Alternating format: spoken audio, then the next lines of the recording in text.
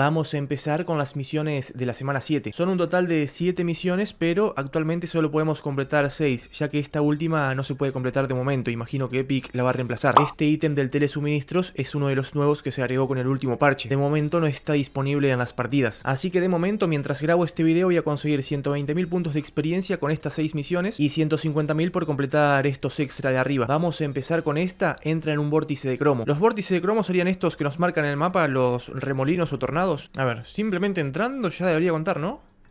Sí, ya contó.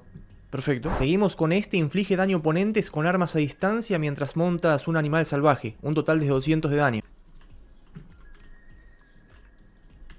Bueno.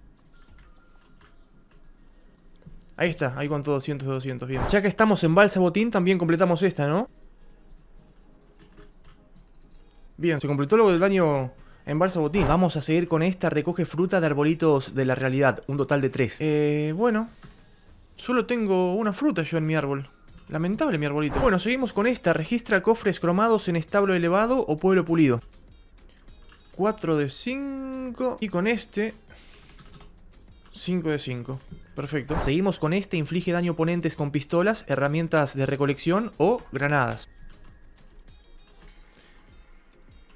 Si no quedamos en 500, sí quedamos, quedamos. 500 de 500. De momento así quedamos, se completaron todas las misiones de esta semana, menos una que no se puede completar por ahora. Estas son las posibles misiones que pueden llegar a poner de reemplazo. Reunir 100 barras de oro o infligir 500 de daño con escopetas. Así que nada, de momento eso sería todo.